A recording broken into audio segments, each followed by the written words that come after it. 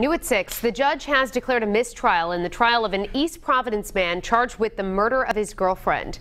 The Attorney General's office tells us the judge cut Andrew Jett's trial short after a witness said something in her testimony that was not allowed to be brought up during the trial.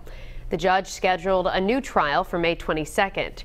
Jett was out on parole for another murder when prosecutors say he stabbed 50 year old Michelle Busby to death in her East Providence home in 2012.